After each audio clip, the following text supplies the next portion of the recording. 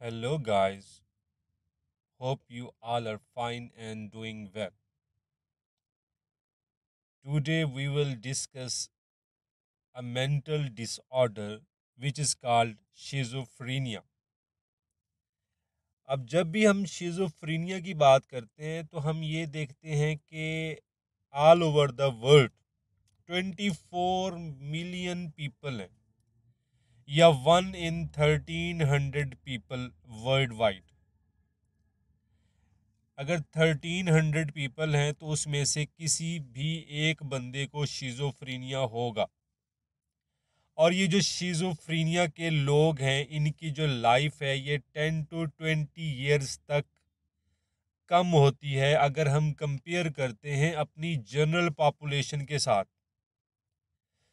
Schizophrenia में हम देखते हैं कि जो इसके पेशेंट होते हैं, उनकी जो परसेप्शन होती है, या उनके का जो थिंकिंग पैटर्न होता है, उसके, या उनका जो बिहेवियर होता है, उसमें एक बहुत क्लियर किस्म की हमें तब्दीली या चेंज नज़र आता है।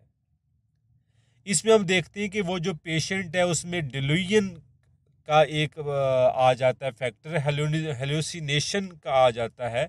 Disorganise thinking highly disorganised behaviour और एक्सट्रीम एजिटेशन कि उसको हेल्यूसिनेशन की प्रॉब्लम फेस हो सकती है उसका जो बिहेवियर है वो टोटली डिसऑर्गेनाइज्ड हो सकता है उसका बिहेवियर भी उसका थिंकिंग प्रोसेस भी और उसके साथ साथ एक्सट्रीम एजिटेशन होती है। एक्सट्रीम एजिटेशन की जो स्टेज uh, है उसमें वो मतलब बहुत ज़्यादा एक्साइटेड बहुत ज़्यादा टेंस बहुत ज़्यादा कंफ्यूज बहुत ज़्यादा इरिटेबल वो हो जाते हैं।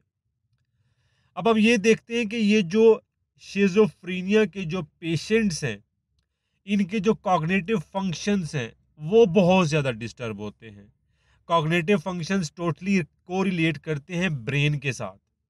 अब हम ये देखते हैं कि उनका जो सपोज़ के, उनकी जो अटेंशन है या उनकी जो मेमोरी है प्रोसेसिंग स्पीड है, या उनका जो एग्जेक्टिव फ़ंक्शंस है लाइक रीजनिंग है प्लानिंग है प्रॉब्लम सॉल्विंग है, या मल्टीटास्किंग एक जो इंडिविजुअल होता है सपोज़ वो अगर ड्राइव कर रहा है तो साथ में वो अपना फ़ोन भी अटेंड कर रहा है, वो किसी के साथ बात भी कर रहा है।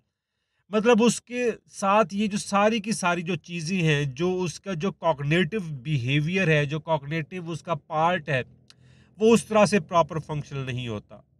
अब जो शेजोफ्रीनिया के जो पेशेंट हैं, अगर तो वो डायग्नोज हो जाते हैं तो उनका एक प्रॉपर ट्रीटमेंट ट्रीटमेंट है।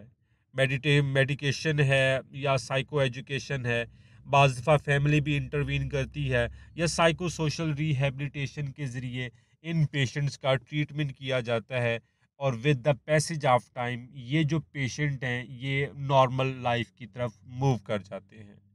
तो ये तो था हमारा टॉपिक शीज़ोफ्रीनिया जो कि बड़ा ही मुख्तर सा मैंने आपको समझा दिया है कि ये क्या डिज़ीज़ है, किस तरह से हमारा बिहेवियर चेंज होता है और किस तरह से हमारा कॉग्नेटिव फ़ंक्शंस जो कि ब्रेन से रिलेटेड है, वो डिस्टर्ब होता है और किस तरह से इसका ट्रीटमेंट किया जाता है। Thank you so much take care अल्लाह हाफिज़।